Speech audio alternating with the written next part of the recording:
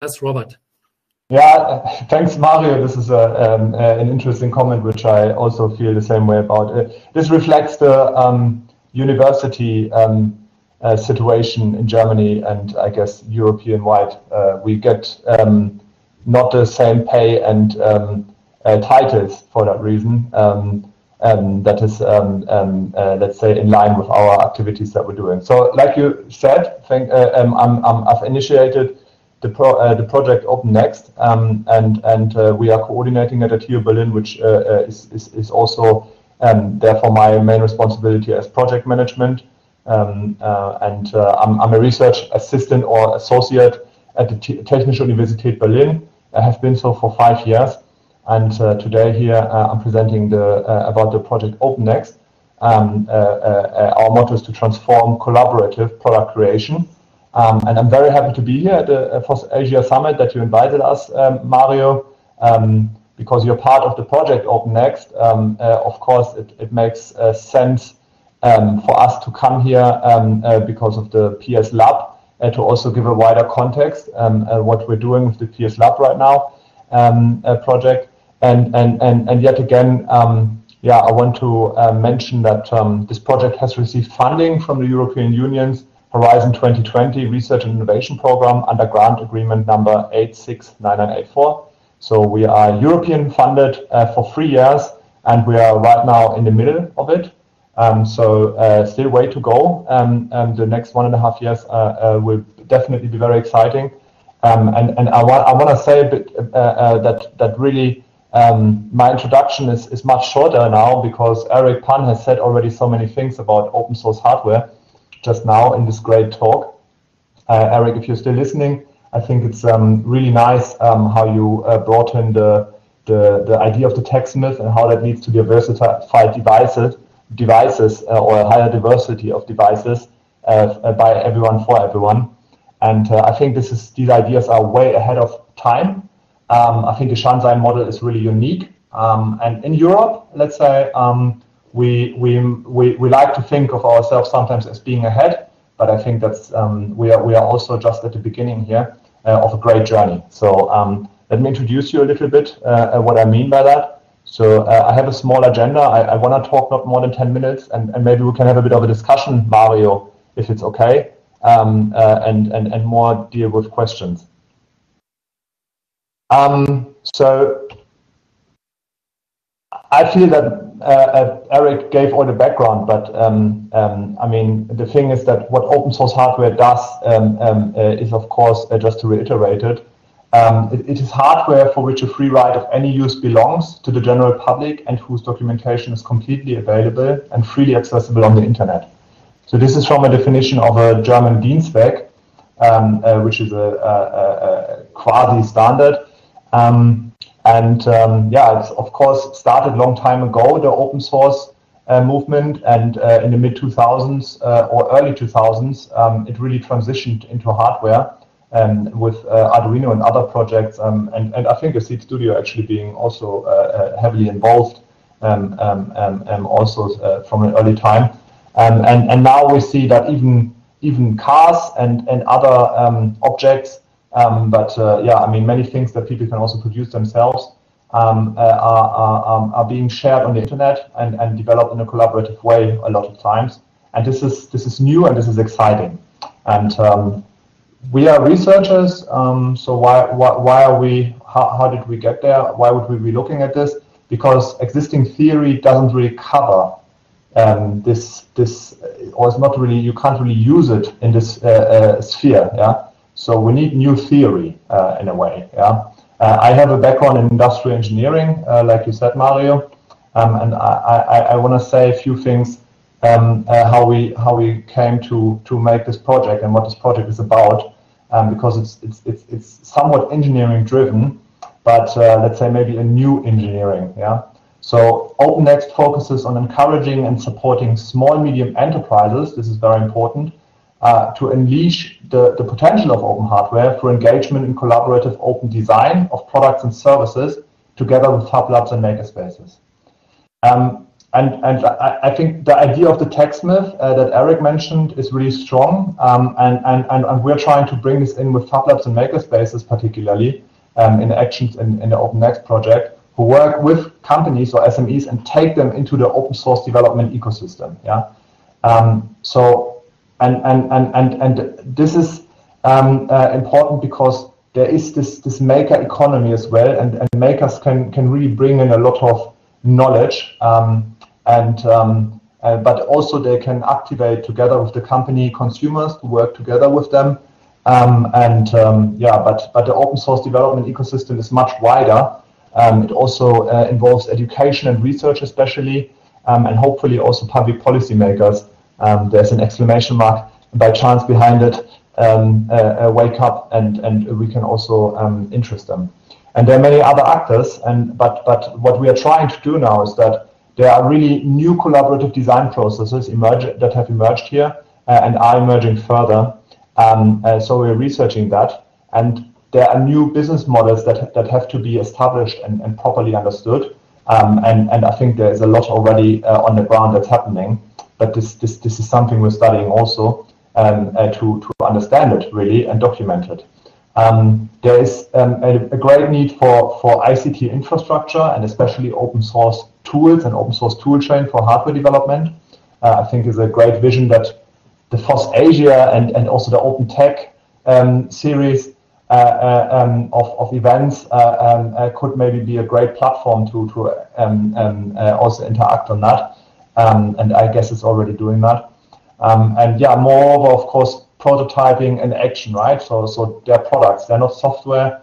Uh, open hardware deals with products, so so prototyping and testing and and and and, and getting to to also understand what what what what kind of documentation do we need what what are product success in the end we want to have open source hardware products um, and and they come together with services a lot of time like i said earlier so this is the background um, and we have uh, four simple project goals we want a wider, wider adoption of open source hardware we want to enable fab labs to support companies which is a very particular um, idea in this project but we also provide IT solutions for open hardware development.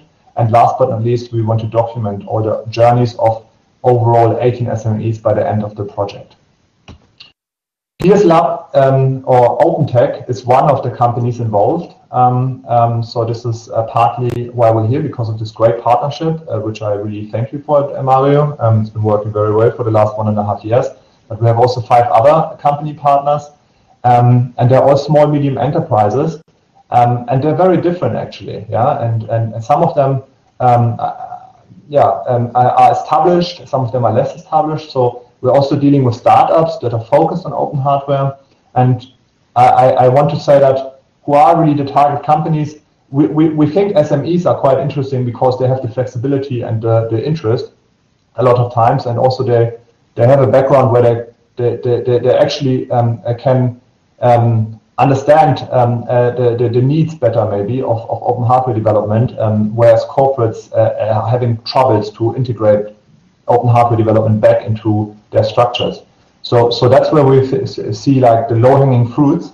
Um, and and I, I also want to point towards an article of uh, Lars Zimmermann uh, from Mifactori, who, who, who, yeah, actually published this just um, uh, um, uh, on his blog a couple of weeks ago, about activist companies, which I, I added to his own logo. Um, he means social entrepreneurship, the common good economy, NGOs, makes the, the Make Sense network, which some of you may know or may not know, but it's pretty interesting, um, and many others. And, and, and all these can be activated for open hardware development, and this is a real mission. Yeah. Um, so we have different pilots, and I just want to give two pilot example in practice. So um, uh, just and, and, and also tell you a bit about the ICT solutions, just to give you um, a, a, few samples of what we're doing in the project. So um, the first pilot example is the uh, fiction or future factory, which is being repainted as you see below. And this is about starting an uh, uh open collaboration with, with Waag uh, in Amsterdam in Fiction Factory uh, who are now calling themselves Open Future Factory, and uh, to make products or a product out of factory wood waste. Yeah. So, so the idea is to that they started with open calls in, in October, um, um, uh, to hire a creative maker, and they formed a, a different uh, uh, teams, yeah, community team, feedback team, business teams, and they're they're, they're really involving commun- uh, consumers, makers, and clients with these teams, yeah. So so this is um, the screenshot is some uh, uh, weeks ago that I made it, or even months. Now it's even there, there has been much more activity. This is from the Wikifactory page, uh, where where anyone can join them.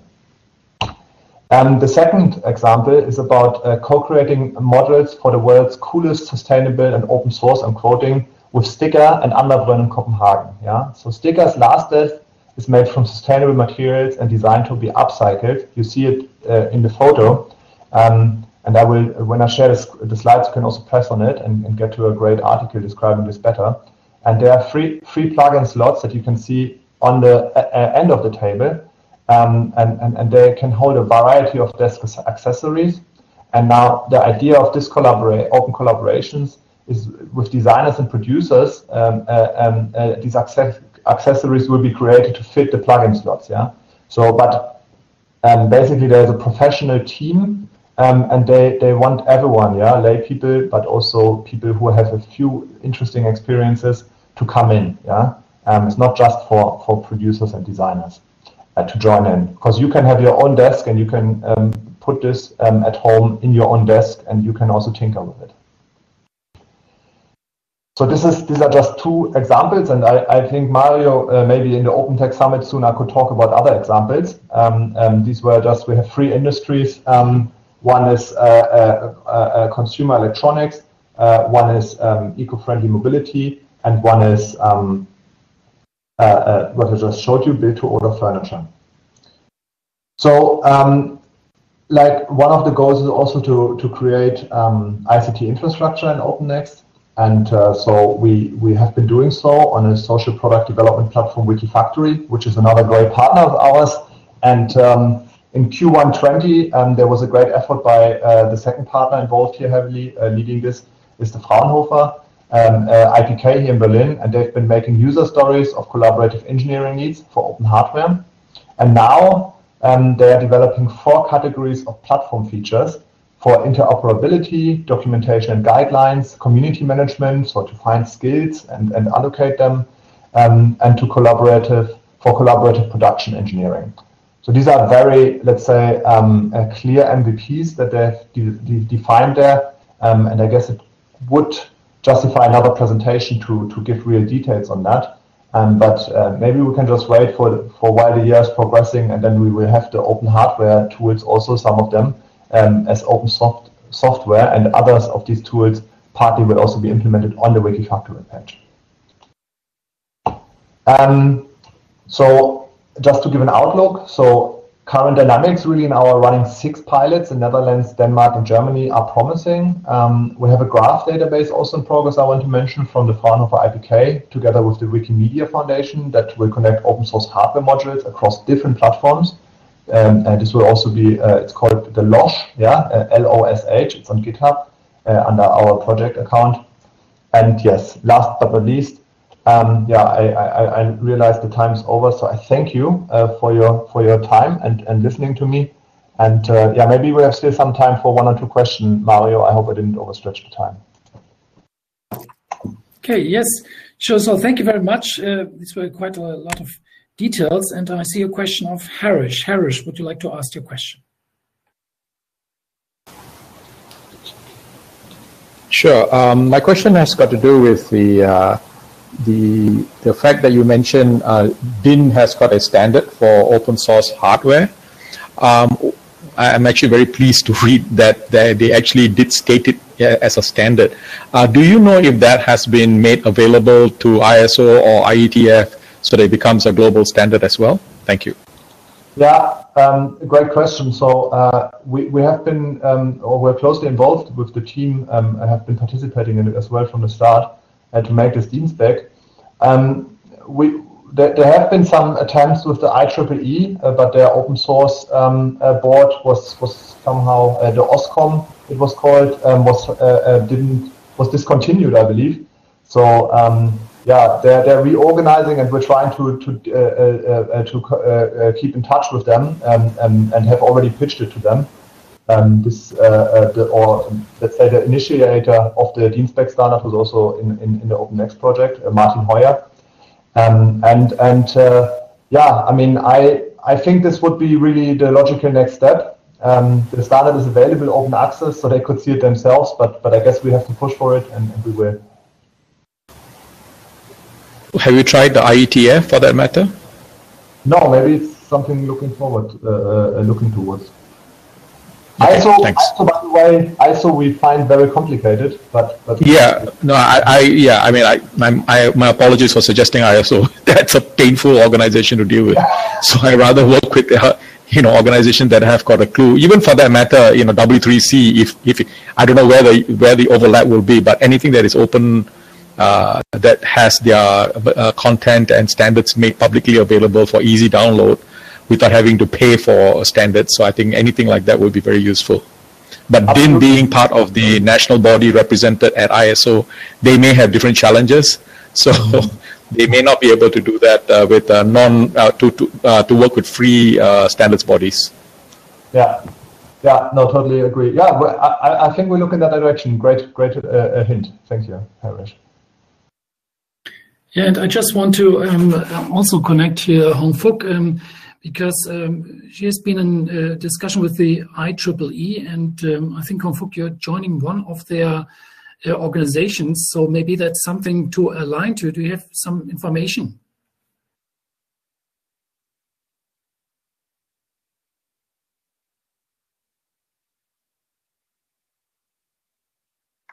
Yes, so I was just appointed last week um, to um, to be on the um, uh, Center Associate uh, Board for, for open source.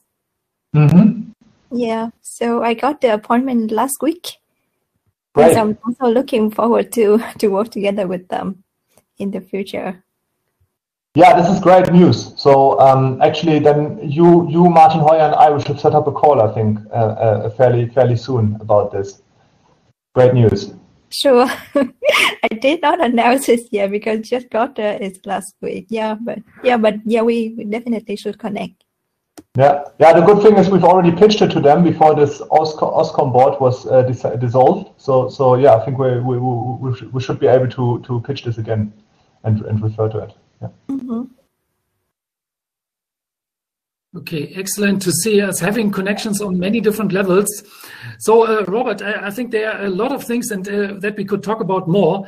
And uh, we will be having uh, events in the upcoming months that we can share through our networks um, uh, dedicated on some of the topics. And um, yeah, I would like uh, to invite you also to our discussion room here in the event. So if anyone has more questions and would connect, maybe check out the discussion room for the next few minutes um, or are there other ways to contact you? Which? Uh, yeah, actually, um, there's mainly my email account, I'm afraid. Um, uh, but but really, um, um, you can also just call me on the phone. So the um, uh, uh, on on on on every uh, on our website and and I think also on the uh, um, um, slides, I will put my phone number. and it, it's put through right uh, to my mobile. So I prefer, let's say that that yeah, either write me an email or, or and, and I set up a call or just call me on my phone uh, because I'm really happy to speak directly and, and make things concrete. Okay. Excellent. Um, or we can also use Big Blue Button now. So thank you very much uh, again. And uh, um, we appreciate uh, that you shared insights uh, to OpenNext and uh, what's going on in Germany and the European Union and how we're making connections around the world. So um, then uh, we this session is over and um, I will hand over to Mr. Marco. Marco